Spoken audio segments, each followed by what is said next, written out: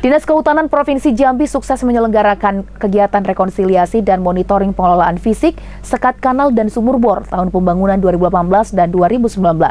Demi keberlangsungan dari pemanfaatan sekat kanal dan sumur bor, perlu dilakukan pemeliharaan secara berkesinambungan.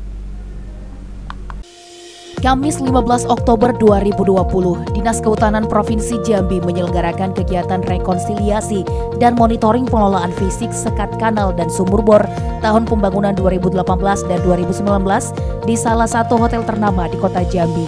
Kegiatan yang dilaksanakan selama dua hari mulai dari tanggal 15 hingga 16 tersebut dilaksanakan dengan protokol kesehatan yang sangat ketat mulai dari pemeriksaan suhu tubuh saat memasuki kawasan hotel, pemakaian masker, mencuci tangan, menjaga jarak, dan lain sebagainya. Kegiatan tersebut dibuka oleh Yazel Fatra, Sekretaris Dinas Kehutanan Provinsi Jambi, dalam sambutannya, Yazel mengapresiasi kepada para pengurus Pokmas beserta anggotanya yang sudah berperan aktif dalam membangun infrastruktur sekat kanal dan sumur bor tahun pembangunan 2018 dan 2019. Ia menambahkan peran Pokmas sangat efektif dalam pemulihan ekosistem gambut.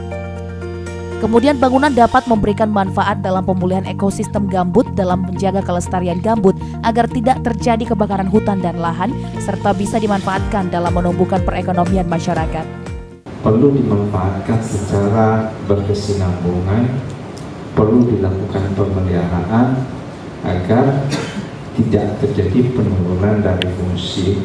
Kebakaran kemarin, kalau untuk yang di atasnya sudah rusak juga pak. Rusak. Iya. Dibersihkan nggak kelilingnya? Kelilingnya dibersihkan pak.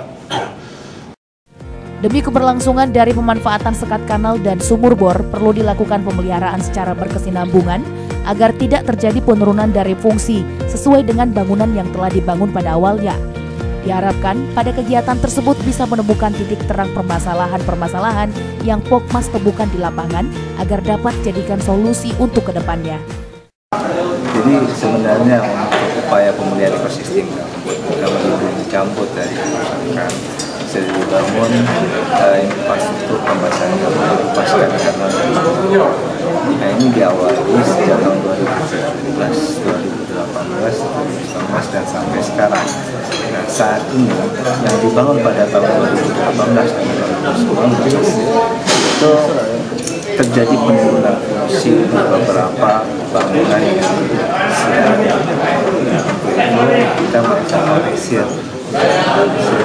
mana bangunan-bangunan yang sudah mengalami fungsi karena kerusakan ringan atau kerusakan berat atau memang sudah sangat tidak berfungsi karena ada program untuk melakukan pemeliharaan bagi yang masih berfungsi secara normal dan kemudian melakukan perbaikan bagi infrastruktur pemasangan gambut yang terjadi kerusakan-kerusakan kategorinya kerusakan ringan dan kemudian pembangunan ulang pada lokasi-lokasi yang sekat kanal dan uh, sekat kanal khususnya yang mengalami kerusakan.